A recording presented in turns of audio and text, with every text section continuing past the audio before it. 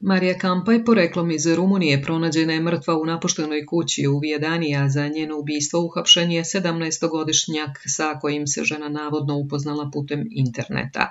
Preliminarni izveštaji sugerišu da su Marija i Mladić imali intimni susret, nakon čega je iz još nepoznatih razloga izvršio nasilni napad na nju udarcem po glavi. Istražitelji trenutno razmatraju mogućnost da je pokušao da je uguši pre nego što je njeno telo odneo u ruševine napuštene vile gdje je bilo teško uočiti ga.